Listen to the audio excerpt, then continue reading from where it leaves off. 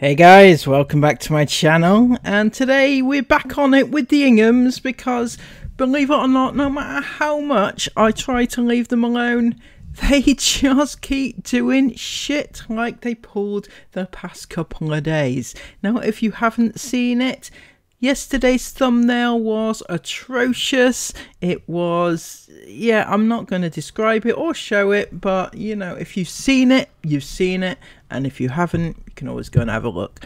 It was bad, and Chris needs to be locked up for that. But aside from that, what the actual hell is the matter with them? Both of them. But first, before we get on to the actual matter at hand. Chris has been spouting shit on Instagram and it is bad. So somebody commented, This is stunning. Hope you are away from all the trouble in France. Stay safe. So it's great that their actual IFAM are looking out for them. You know, as much as we disagree with them, what you know, the IFAM and everything and everything that they bring, at least they have common sense in the sense that keep your kids safe. However, Chris replied with the most ignorant reply I think I've ever read. If, if the mainstream media are reporting trouble, you wouldn't know it in the country. Certainly not where we have been anyway. So I don't know where to start with that. I really don't know. I mean, if the mainstream media are reporting it, he's saying it as if it's some sort of hoax or something. Yeah, the mainstream media, they make up stories like this all the time. In fact, I happen to see loads of clips on on the TV and even on YouTube that just depicts such horrific violence all over the country that only only the mainstream media would have put that together and uh, come up with a conspiracy that it's all a hoax, right, Chris? I mean, come on.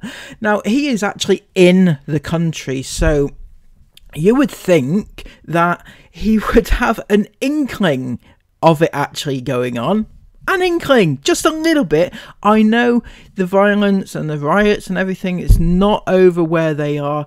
I knew they would be okay because there was no way that these idiots are going to go anywhere near the cities or anything with culture. So they were going always going to be perfectly safe, no problems whatsoever. I had no issues. That being said, if it was me and my family, five children, a wife, and an unborn baby, I just really wouldn't take the risk personally. Maybe it's just me being overprotective, but I wouldn't take the risk. But Chris, he doesn't even know anything's going on, so why would he? Uh, why would he bother?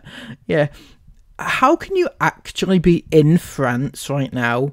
Actually in the country and know less about what's going on in the country than those of us who are not even there.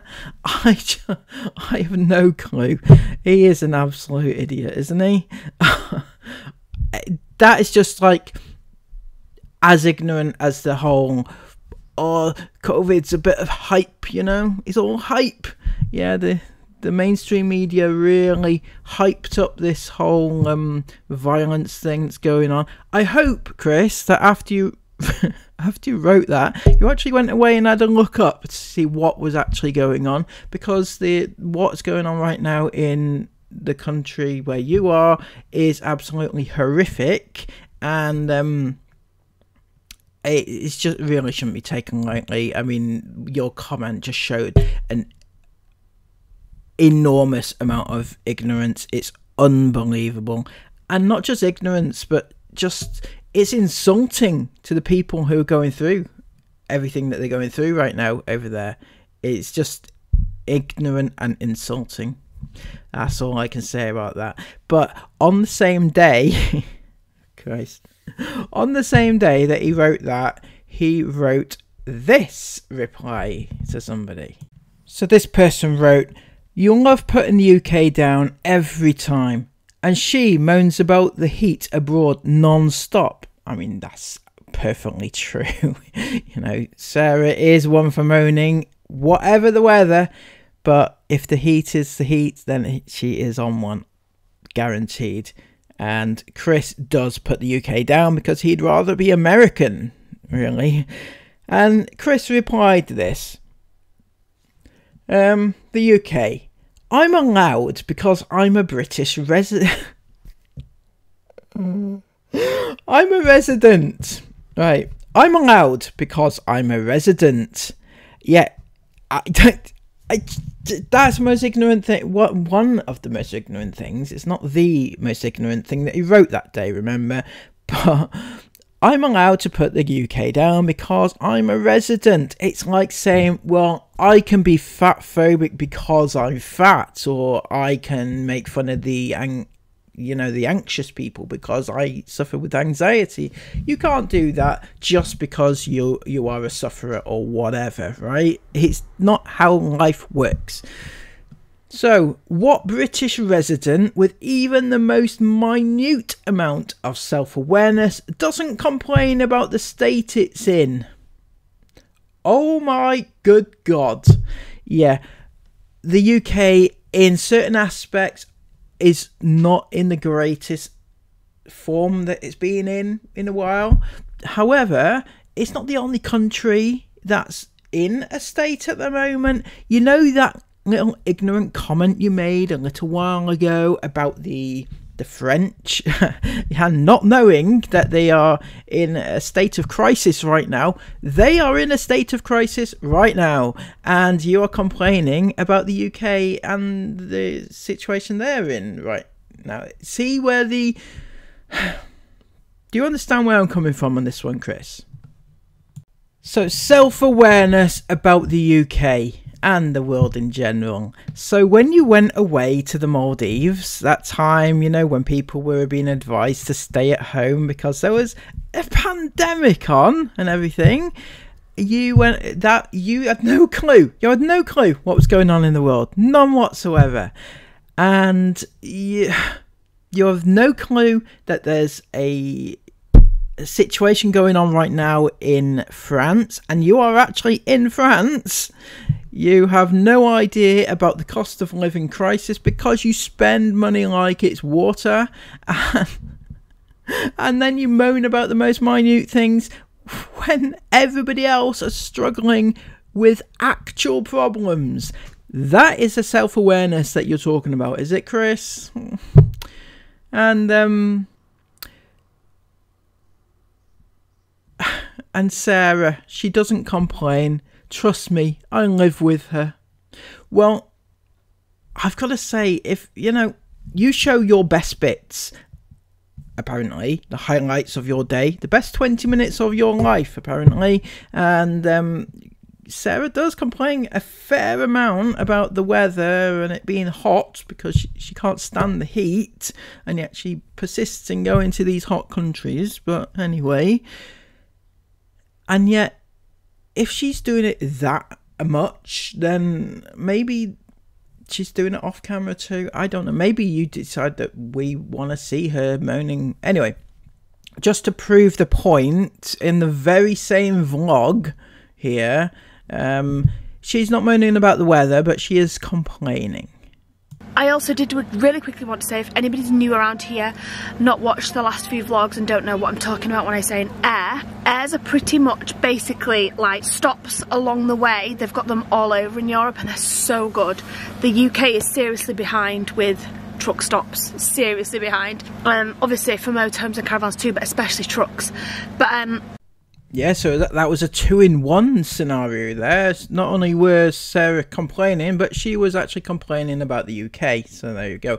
Anyway, we're on to the vlog, and just to catch you up, they were in France. We've already mentioned that. They're in France, and they are at their favourite destination.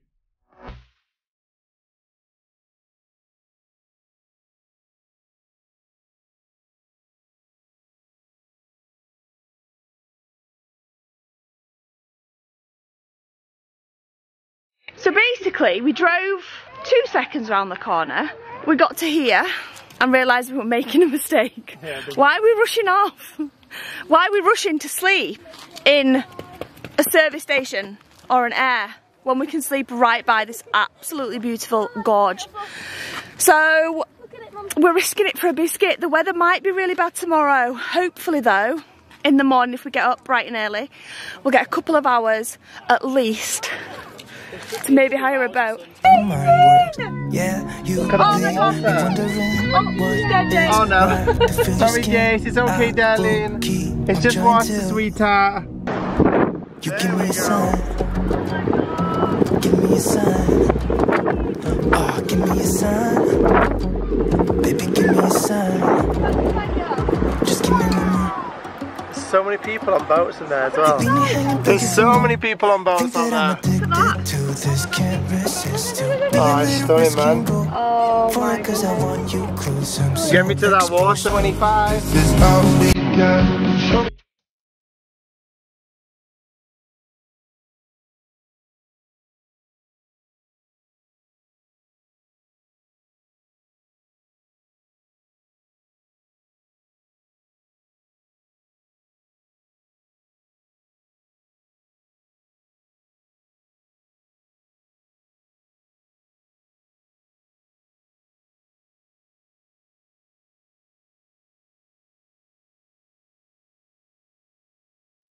This all we got. Show me This dude here, this dude just did jump from almost at that height. don't do that. Oh my gosh. I feel like he's, look how high he is right now. No, it's, it's contemplating. Oh no, he's gonna do it. it's ridiculous how high he is. Oh my gosh, I can't even watch. I can't watch that. no, no, no, no, no, he's gonna do it. He is going to do it as well. Oh my gosh. I think it's time to go see if it's rocky down there. It should not do that. Oh, oh my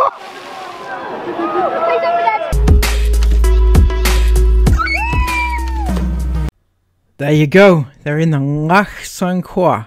So, the more eagle eyed of you may have realised that that wasn't all from the one vlog. That was four separate occasions where they've been to the same place. But I thought, since, uh, you know, it's four, you know, who's going to make who's going to notice any difference right they've been there so many times may as well just stick them all together it's all the same thing isn't it anyway on to the more more serious and pressing matters of pimping out your kids and endangering them because the whole vlog was an absolute shit show of let's put our kids in bikinis and just out there to the world. Here, have have my girls have them have them. Yes you can have them. It's okay don't worry. Come one and all. My children are there for everybody to consume. Isn't that right chris? Isn't that right? What does what what exactly goes through your mind when you do things like that? Who knows? But aside from that um your children are not there to be like I don't know the word for it. Something along the lines of um killed. Just just putting it out there. You know when um we had this whole discussion a couple of years back about the whole um you know drowning and things like that and the the um buoyancy aids. Do you remember the buoyancy aids, Mr. Ingham? So I've noticed recently that um, you will generally put buoyancy aids on your youngest three. The oldest two, obviously, are immune to drowning. You know, the older you get, the more immune you, you become to it. You know, um, I'm just, you know, what do I know? I don't, I don't go go out swimming in gorges and stuff like that. So I don't know. Maybe it's just safe, right? Maybe there is like things underwater that stop you from drowning. Who knows? So, why is it though? Now, hear me out here, Chris. Why is it when you get Isla, who is 11 years of age, she goes out with a life vest on, obviously a standard issued, professionally issued one from the people who gave you the boat, right? So she goes out with a buoyancy aid on and she's jumping off the the cliff and everything and doing everything fine. But then one time she's not any longer wearing her life vest. Why? Why why why did you allow her to take the life vest off if she needs it? She needs it. Just taking it off just so she, she can do a, a jump off the cliff, no less. you know, because what could go wrong if you're jumping off a cliff into water and um what what's that one thing that you might just need if you go too far under possibly you hit yourself i don't know but you know what's that one thing that you might need i know i know it's a buoyancy aid something that will bring you back to the surface i maybe it's just me being silly again. I don't know. But another issue, and this, I'm absolutely dumbfounded. I'm really, really lost for words with this one, Chris. Really, really. So again, you've got Jace, right? He's four years of age. He was given a life vest by the boat people. However, right now, this I'm stunned after a while, you take the boat back, so you have to give the life jacket back, I'm sure. Now, you then take him back out on a paddleboard, and he doesn't have a life jacket anymore. He has that stupid little puddle jumper thing, right? And what's that thing going to do to protect him against drowning? it's, it's like, you know, it's like just armbands. Those plastic, stupid little armbands that you wear at the swimming pool just to try to learn to swim. In fact, this puddle jumper is designed for learners, toddlers who are learning to swim, and you put him out in the middle of the sea. Well, you know, the gorge. And um what and then and then not not content with that, but you allow him to climb into the freezing cold water. Freezing cold water with that just that puddle jumper on thing. He how actual st- how actually how stupid are you? Watch Jace trying scrambling to get back onto the to get back o- out of the water having climbed in. And the only person with jace in the water is 11 year old isla.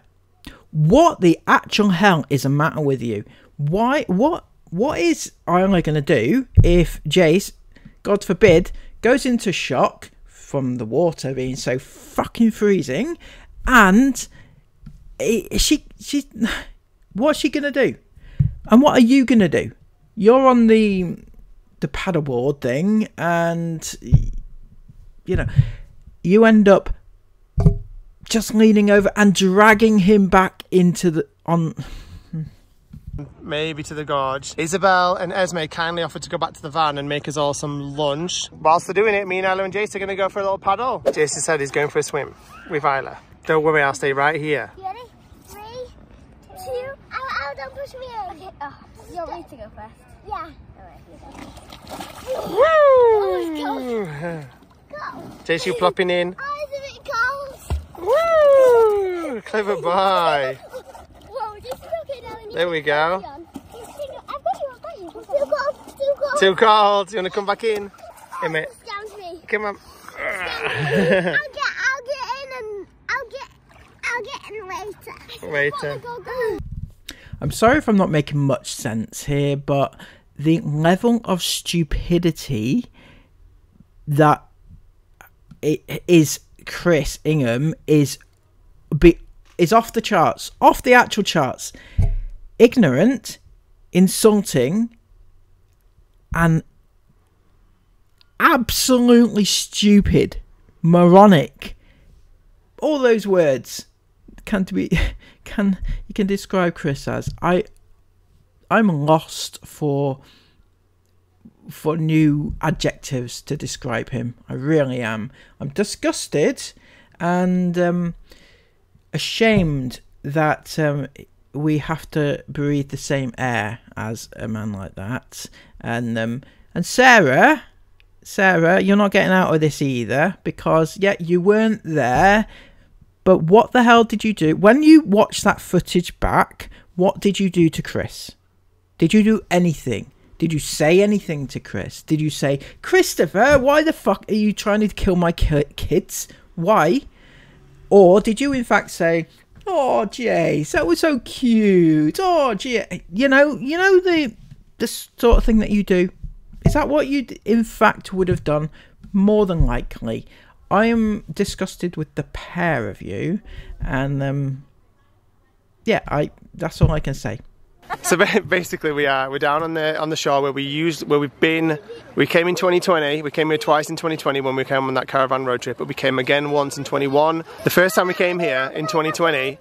The day before that, Sarah told me that she was pregnant with the pregnancy that we lost, unfortunately. Well, I'm just saying, it was special. No, it was special that d- the first day we came, it was special because me and Sarah were the only ones that knew that she was pregnant. So it was really, really nice. Um, Before the car blew up and the, va- and the whole trip went to absolute. yeah, yeah. Before, like a week before the car blew up, and the whole trip went a bit crazy. But um, it's all good. Anyway, we've got very fond memories here. So Lac Saint Croix is special to us.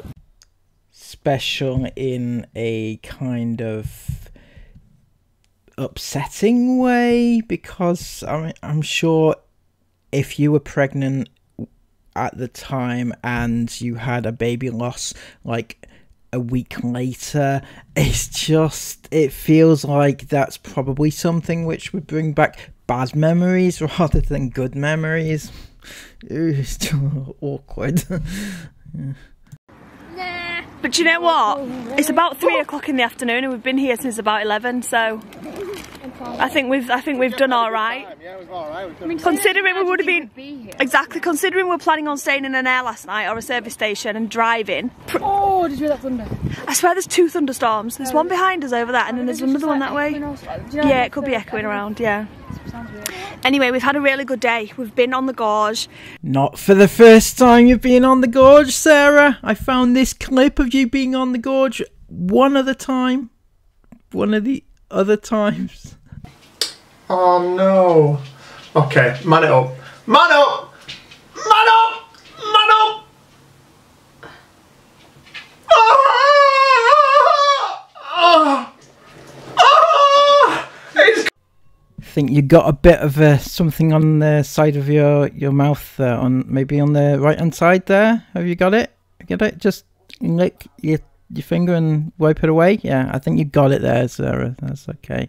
Um, but this, I've got to show this bit. I'm sorry. No, really cat.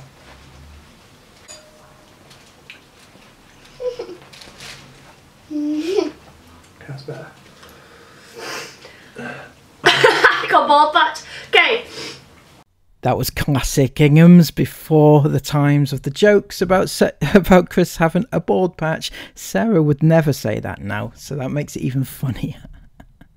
We've paddle boarded. I know they're terrible, aren't they?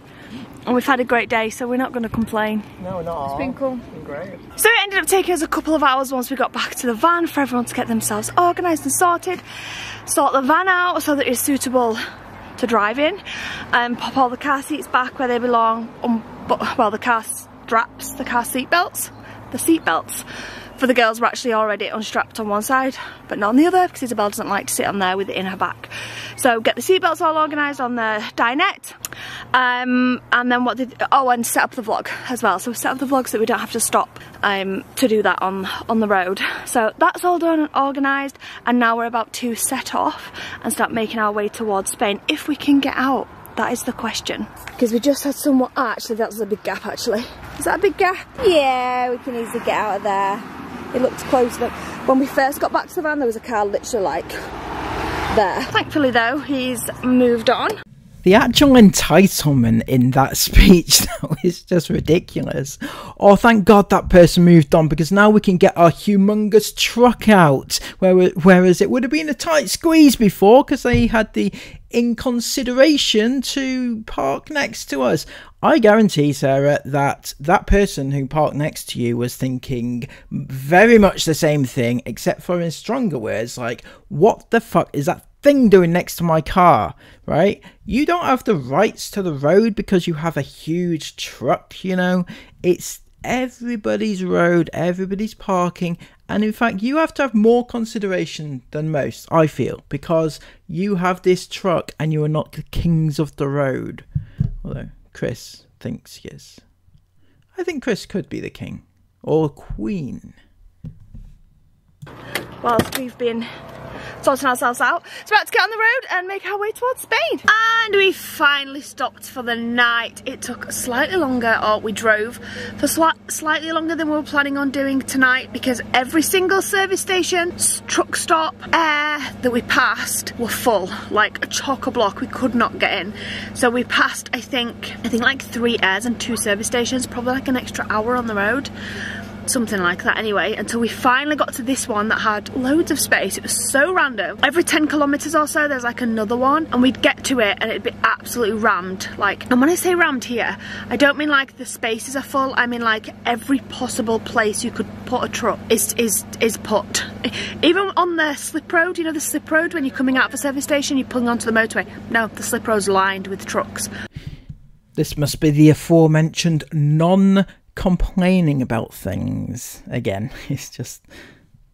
They were that full, like properly full. So, uh, and then we got to this one, it's like empty. Um, it's not now, a van's just pulled outside. I can just hear his um, generator. So there's, there is another trucker out there and there's a couple around. But um, compared to the other ones, pretty empty, which I'm impressed about. Um, we did pull up to the most incredible, it's still going on now, I'm watching it through the sky roof, I just turned the lights on to end the vlog. But before that, I was laid in the pitch black dark watching the thunder and lightning. We've got the biggest thunderstorm over us right now. It's not actually raining too bad, but the lightning is like, it's such a good electrical storm. It's like constant. I think Chris just took a bit of footage on his phone. So if you haven't already seen that, that will be inserted now. I was also planning on doing like a trip reveal, not really a trip reveal, but like a, a, plan, a trip plan. So letting you guys know what our plan is for this trip because it did change. Um, but I'm going to do that tomorrow instead because it's just quite a long one and there's been a lot of talking in this vlog. I think we filmed quite a bit today as well. So I'll definitely do that tomorrow. And I've had a few messages asking for a pregnancy update. So I'll include that like if, if not tomorrow then over the next day or two. But thank you all so much for watching. Oh, you're not going to include the trip plan which you planned on telling us a few days ago because the vlog is already too long. Well, Sarah, it was only 13 minutes. How in God's name do you have so much fun, so much to do in a day, and yet you managed to show 13 minutes. That's an absolute shocker of a performance, isn't it? So you really should have added that bit at the end, I feel. Although maybe you're holding that back because you don't want people to actually figure out where you are and uh, track you down and, and have another kayak pool incident. Nobody's going to do that. You're in France, Sarah. Although, you know, Remember those people that we talked about at the beginning of the vlog? The the the the, the IFAM or the rioters? One of those, yeah. Anyway, they could track you down. So that was yeah. The the entire vlog was absolutely shocking. Absolutely shocking. These two need to take a long, hard look in the mirror, figure out that what they want to do, and try not to kill their kids try not to pimp their kids out. Just try to be normal and not harm their kids in any way, shape, or form. And Chris, you need to open your eyes to the world because not everything is a conspiracy. There are problems in France at the moment. It's really upsetting. It's really sad. And yet, you, being in France, haven't got a clue because you want to uh, go paddleboarding in a place you've been to three times previously. Everybody, have a lovely day. Thank you for joining me Don't forget to give this video a massive thumbs up, comment everything you want to comment down below, and subscribe to the channel. Get me up to 10,000 subs. Until next time, have a lovely day. Take care of yourselves, and bye bye.